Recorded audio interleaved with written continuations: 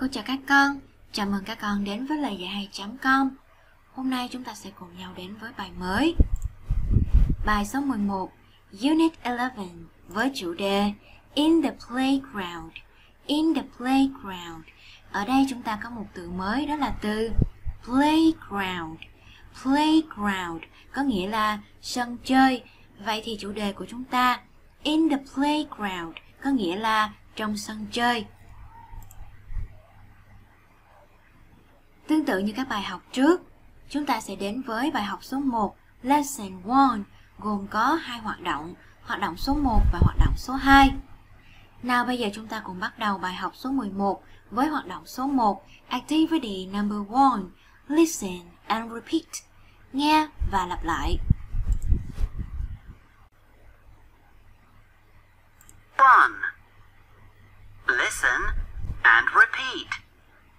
Rồi ở hoạt động đầu tiên này chúng ta sẽ cùng học chữ cái I và âm I.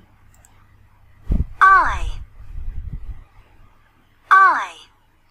Rồi bây giờ các con cùng cô lắng nghe một lần nữa và lặp lại nhé. Hôm nay chúng ta sẽ học về chữ cái I. và âm. I. Rồi lặp lại một lần nữa nào. I. I. Good job. Và để làm quen hơn với âm I và chữ cái I, chúng ta sẽ cùng đến với phần từ vựng. Ở đây chúng ta thấy các bạn nhỏ đang cùng nhau chơi đùa ở sân chơi in the playground. Đầu tiên chúng ta thấy các bạn nhỏ đang chơi trò chơi cầu trượt. Vậy thì ở đây chúng ta có từ Sliding. sliding. Sliding là hoạt động của bạn nhỏ áo vàng này. Bạn nhỏ này đang trượt cầu trượt. Sliding. Rồi các con cùng lặp lại nhé. Sliding.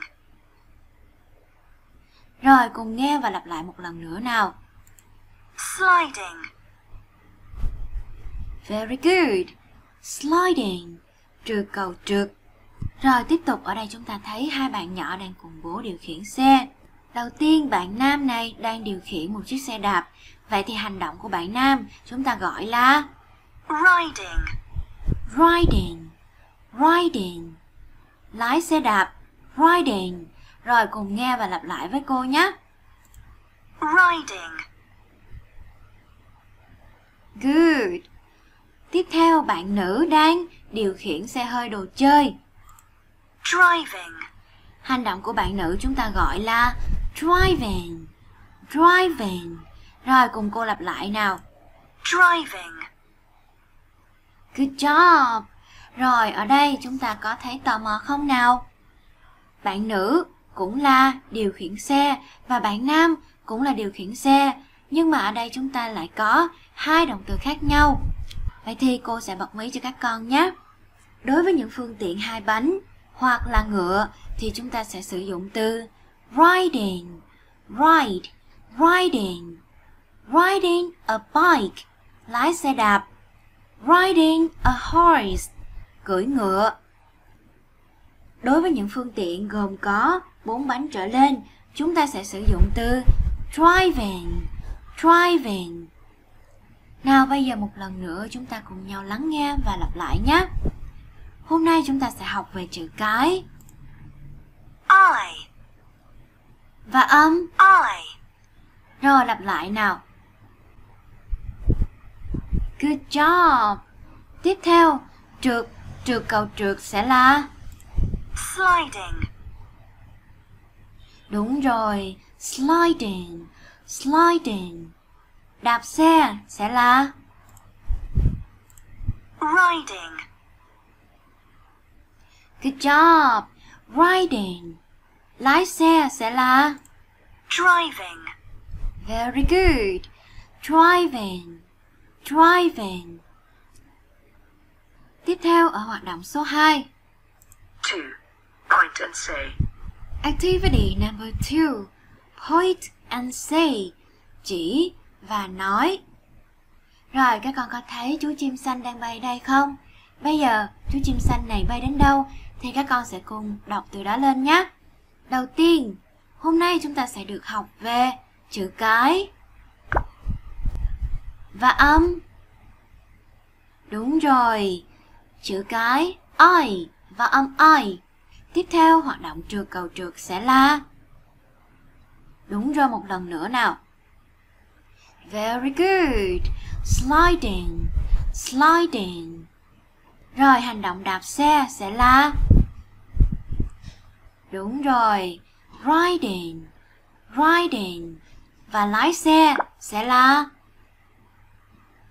Good job, driving, driving. Rồi một lần nữa chúng ta cùng chỉ và nói chữ cái và âm. Đúng rồi, chữ cái I và âm I. Trượt, trượt cầu trượt sẽ là Đúng rồi, sliding, sliding. Đạp xe sẽ là Good job, riding, riding. Và cuối cùng, lái xe. Đúng rồi, driving, driving. Rồi chúng ta vừa cùng nhau hoàn thành hai hoạt động của bài học số 1. Nào bây giờ cùng cô chúng ta kiểm tra lại trí nhớ của mình nhé. Đạp xe, điều khiển phương tiện xe hai bánh chúng ta sẽ sử dụng từ. Rồi tiếp theo, điều khiển phương tiện từ bốn bánh trở lên sẽ là từ. Trừ cầu trượt sẽ là từ. Rồi những từ vừa rồi đều chứa chữ cái. Âm. Nào bây giờ cùng nhau kiểm tra kết quả nhé. Hôm nay chúng ta học về chữ cái I và âm I. Đạp xe, điều khiển phương tiện xe hai bánh chúng ta sẽ sử dụng từ riding. Điều khiển phương tiện từ bốn bánh trở lên, lái xe hơi chẳng hạn thì chúng ta sẽ sử dụng từ driving. Và cuối cùng, hành động trượt, trượt cầu trượt sẽ là sliding, sliding riding, driving và sliding. Bài học của chúng ta đến đây là hết rồi. Cảm ơn các con đã chú ý lắng nghe. Chúc các con học tập hiệu quả và luôn đồng hành cùng lời dạy hay.com. Xin chào và hẹn gặp lại các con ở những bài học tiếp theo nhé.